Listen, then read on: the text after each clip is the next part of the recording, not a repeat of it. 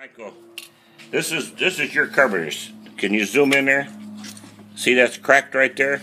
Okay, when you put a level on it, you see the difference? You see the gap?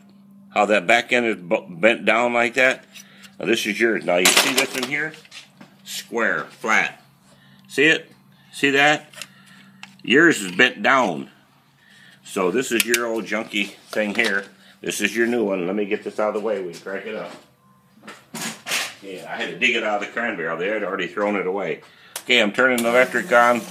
Got a fuel filter here. Make sure you got three pounds fuel pressure by the virtue of a regulator, which will send you all the instructions and things about it. Okay, we are ready to start. Okay, got your vacuum fitting over here for your distributor like you need. You can hear it. You can hear it already sucking. And we put it up See it? See it? Okay, that's for your distributor. We've already got the mixture set.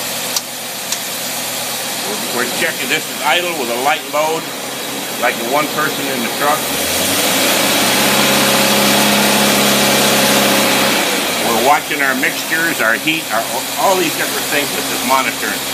Now we're going to go over here, we're going to put a load on it by virtue of this hydraulic mechanism, the more RPM you rev it up, the bigger the load, so it'll keep loading up till the motor dies. We're not going to do that. Okay, we're going to load it up. It's like if you had a big, like it was in a fire truck, and you had a loaded full of equipment, loaded full of men, big truck full of international motors. And that thing right there is putting out about well, that was about 210 pounds of foot, foot pounds of torque right there, what I would call it. And the mixtures are all staying within the atmospheric pressure. Everything is staying normal. Carburetor runs absolutely flawless. Perfect. Now you got a very nice unit for the same price.